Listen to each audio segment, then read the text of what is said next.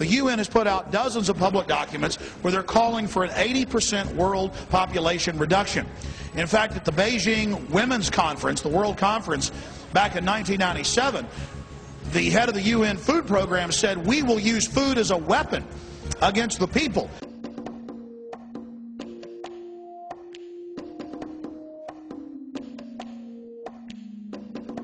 66% of the United States residents' public water is fluoridated.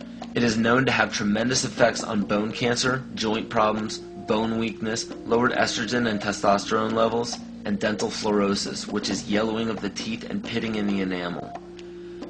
Wouldn't it make more sense to enhance public water with vitamins which are meant to be ingested to promote overall health, rather than putting such a toxic chemical in our water with a bogus explanation that it will improve our dental health? We now know that fluoride causes more dental problems than it solves. Something doesn't seem right about this. Do you honestly believe that these companies care deeply enough for the people to spend large amounts of their own money to fluoridate public water when the people already purchase their own toothpaste? But there's a difference between toothpaste and drinking water. We don't ingest toothpaste. If you go to any hardware store and look at any rat poison product, you will only find one ingredient sodium fluoride. It is the most toxic ionic molecule outside of potassium dichromate. Now Dannon, along with other companies, have begun fluoridating bottled water.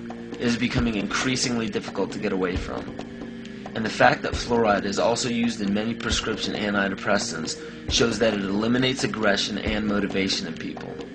Fluoride, to my knowledge as a physician, has absolutely no biological benefit whatsoever. Uh, but one of the significant things is that the, the Russians uh, carried out all sorts of experiments on the uh, people living in the Gulag. One of them, of course, was to fluoridate the water. Why?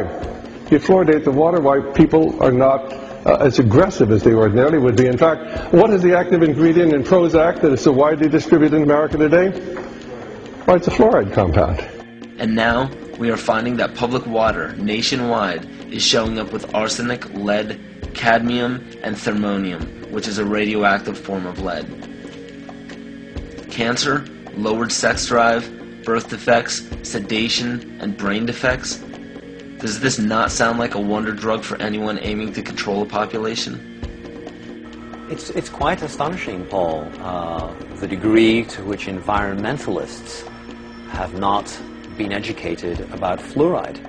You know, people have an unconscious trust in their doctor or their dentist. And if you can persuade doctors and dentists that fluoride is safe and good, then you're, you're, you're uh, able to reach the rest of the nation. People believe their doctors and dentists, and that was a way of promoting fluoride for Bernays. Fluoride was killing their cattle, destroying their crops. Uh, fluoride given to rats had produced bone cancer and liver cancer, and that those results had been doctored to make it look as though fluoride hadn't caused as much cancer. The pattern that we saw typically is what we see with other neurotoxic agents that are well known to cause a hypoactivity or uh, a memory problem or an IQ problem. When I first presented the results of these studies, um, one of the uh, individuals sitting and listening to the results, he says, do you have any idea what you're saying? And he says, you're telling us that we're reducing the IQ of children. And basically I said, yes.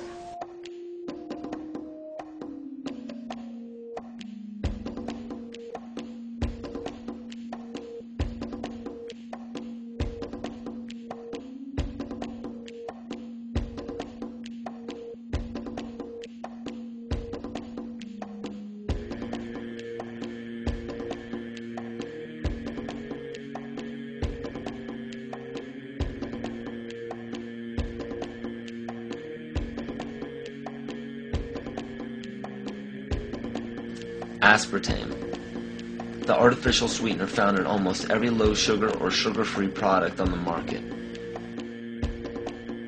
First of all, aspartame is made up of three things. Methanol, which of course is what produces blindness, uh, aspartic acid, and, phenylalanine. These are all poisons. Aspartic acid, of course, produces brain lesions.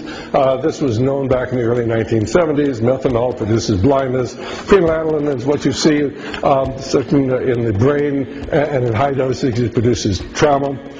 We're not making this all up. The FDA did publish back in, um, I think it was the 80s, they did publish the 92 potential side effects of aspartame. And they do, you know, these side effects are quite, you know, are extremely serious. Things like dizziness, uh, problems with balance, uh, abdominal pain and cramps, changes in vision, seizures and convulsions, etc., uh, etc. Et so the nervous system seems to be one of the areas that's most affected. So we see people have difficulty thinking. Uh, they feel like they're walking around in a cloud or a fog.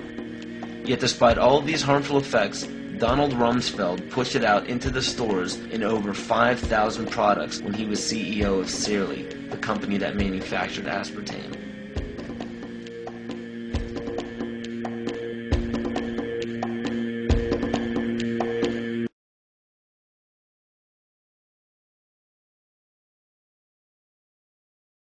The sustainable goal is the elimination of the middle class.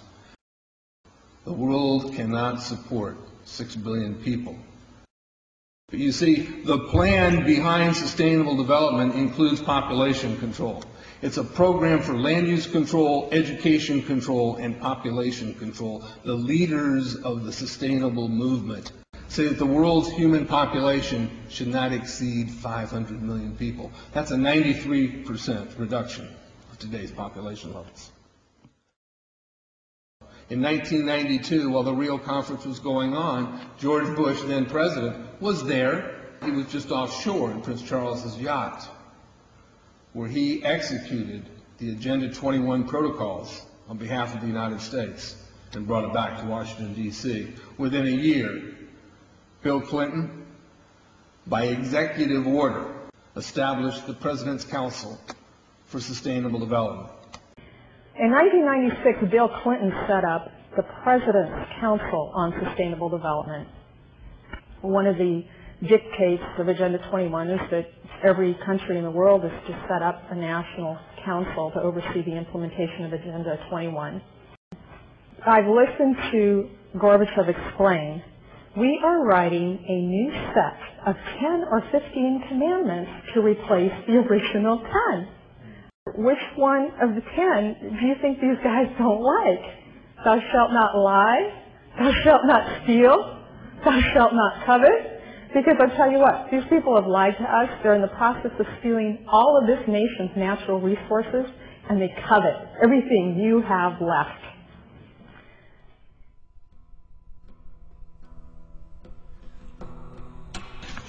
To explain the map, the red are areas that are to be off limits to human beings. If you live there, you won't. The yellow areas are the areas for major control of all human activity. If you live there, you won't. The black dots are the smart growth zones. That's where human beings are to be stacked and packed in small living units along rail tracks. Smart Growth Program ultimately has jobs assigned and children cared for by the state